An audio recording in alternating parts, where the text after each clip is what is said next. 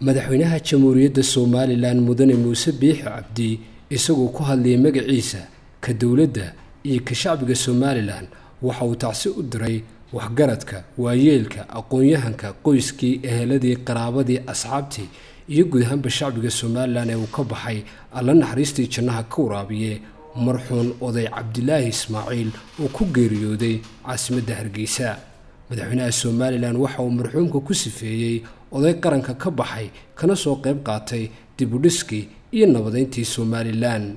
Madaxweynaha jamhuuriyadda somalilan wuxuu marxuumka alle uga baryey inuu naxariistii janno fardowse ka waraabiyo waxgaradka waayeelka aqoon-yahanka qoyskii eheladii qaraabadii asxaabtii iyo shacbiga somalilan ee uu ka baxayna in eebbe samir iyo imaan saadiqa ka siiyo. Innaa lilaahi wa innaa ilayhi raajicuun